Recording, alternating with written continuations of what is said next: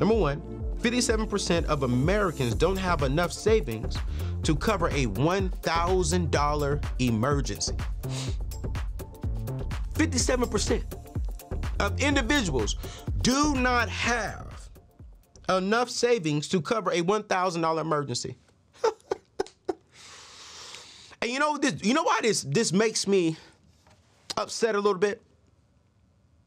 But but I have grace and this is why I'm here doing what I'm doing.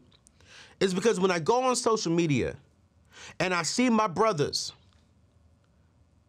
popping a champagne bottle and they ain't drinking it, but they're pouring it out on the floor. Pouring it out on my, my, my, my sisters' behinds. But then yet, we want to complain and say the system wasn't made for us, but we're not being good stewards of the money that we have. And the reason why I gave that example is because you're dropping at least $800 to $1,000 for a champagne bottle. So you're throwing $1,000 on the floor, but then yet we want to complain and say that we don't have the money. You don't have a $1,000 in your savings account, but then we got name brand clothing items and, and, and purses and shoes and, and, and expensive cars that, that we do not need to be having. An average car note right now was $750.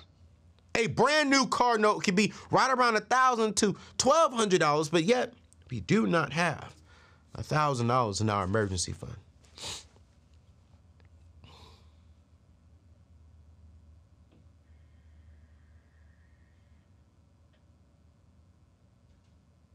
And I'm pausing right there because it's like, I get it. I remember being young. And when I say young, I'm talking about I used to be young financially, mentally, if that makes sense. I, I was immature financially while I was of age. And, and, and, and you guys, this year I'm praying for increase. This year, I want us to increase in our wellness, increase in our abundance, increase in our freedom. I am not saying that we cannot have a good time. Um, I am not saying that we cannot go out there and have nice things. Here's what I am saying I don't care how rich you are, I don't care how wealthy you are. I do not see wealthy, smart individuals getting a champagne bottle and dumping it. Now, do we see him shake it up and pop it open and let the, you know, the stuff come out? Yes, absolutely we see that. But then we drink it. you know, we're not going to waste the money. And how do I say this? If you don't have a $1,000 in your savings account right now, One, I want to say, aside, I want to encourage you this year. Your goal right now is to get at least one month of expenses inside of your savings account. That's your goal right now. If that means you need to tell your friends, hey, I can't step out this weekend. Um, parents, if that means you need to tell your kids, hey, we, we can't do this for the next two months. We're going to eat in. We're not going to be able to do extracurricular things as of right now. If, if, if that means you need to make some sacrifices so that you can have some cushion for when an emergency happens, then that's what we got to do, you guys. The, the last thing you want to do is have an emergency come up and you have to go running to a payday loan advance place. You have to go running to the bank to borrow money that you cannot afford to even uh, borrow. What's going on everyone? It's your boy AO here and I'm super excited to share some incredible news with you. On January 22nd through the 26th, we're launching a transformative movement called Pray FYI, short for Pray for Your Increase. We're believing 2024 will be the year we eliminate debt and build wealth. So real quick, I wanna give you a sneak peek into what's happening January 22nd through the 26th. I want to encourage you to join myself and thousands of others in this week of prayer as we're diving into a series of powerful sessions, each focusing on a key aspect of financial well being. Join this movement by visiting prayfyi.com. You see, day one, we're focusing on debt reduction and financial stress.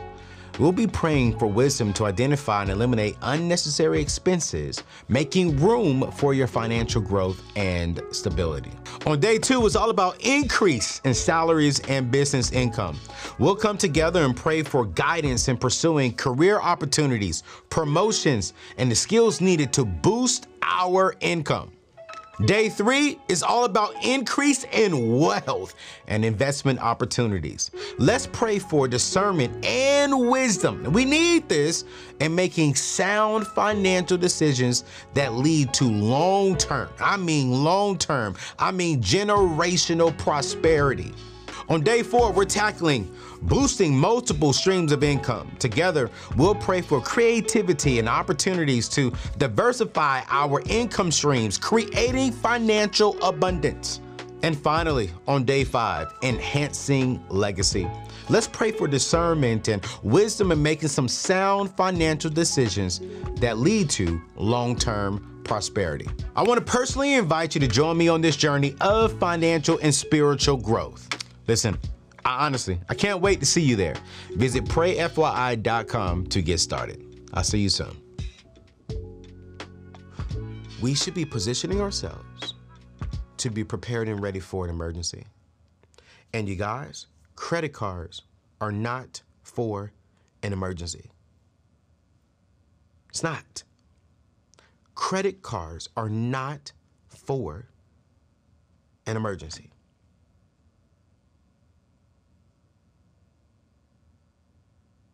It's not. It's not. Proceeds me to number two. There are 441 million credit card accounts, of which 191 million accounts, 43.4%, had a revolving balance carried from month to month during 2023.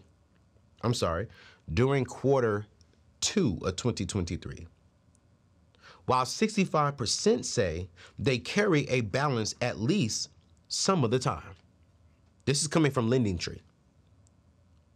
So 43.4% have a revolving balance. So this is nearly half of American people.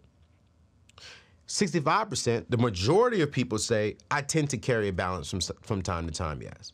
I may carry it for two months, I may carry it for two years, I may carry it for however, but you know, I don't carry, you know, forever.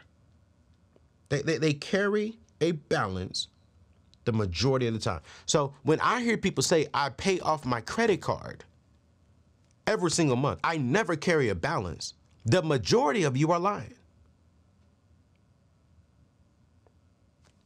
Based upon the stats, the majority of us are lying.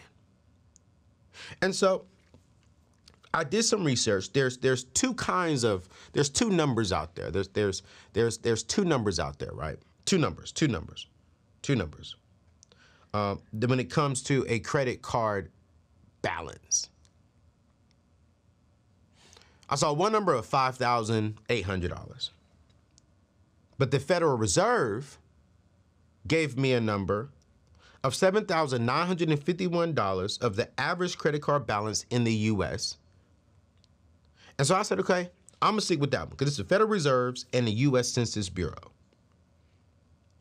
Paying the minimum balance of $150 on $7,951, if this was your credit card balance, it will take you eight years and 11 months to pay off that balance.